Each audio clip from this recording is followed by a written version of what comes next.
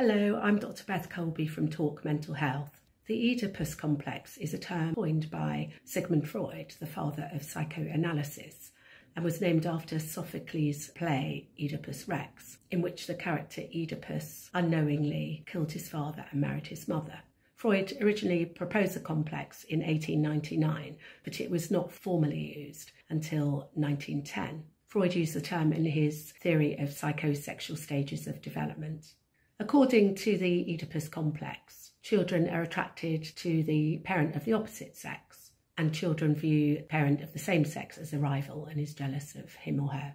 Freud proposed that a boy felt the need to compete with his father for the affections of his mother, or that a girl needed to compete with her mother for the affection of her father. The Electra complex was a term used by Carl Jung, who was a former student of Sigmund Freud.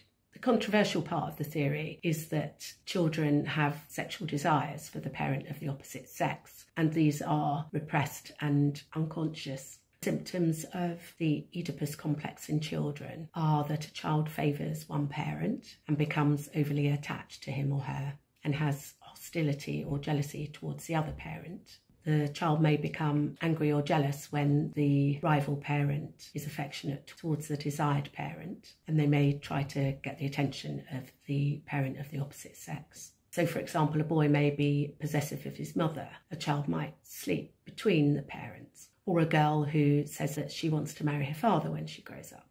Freud believed that the Oedipus complex becomes apparent in a child between the ages of three and five years old, and Freud names this the phallic phase of development. The first two stages of psychosexual development Freud termed as the oral and anal phases, and the oral phase was between infancy and 18 months, and the anal phase between 18 months and three years. He termed the fourth stage latency, which was from 5 to 12 years, and the genital phase was from 12 years or from the onset of puberty until adulthood. Freud believed that most children developed their sexual identity during the phallic phase, aged 3 to 5 years, where the Oedipus complex was important.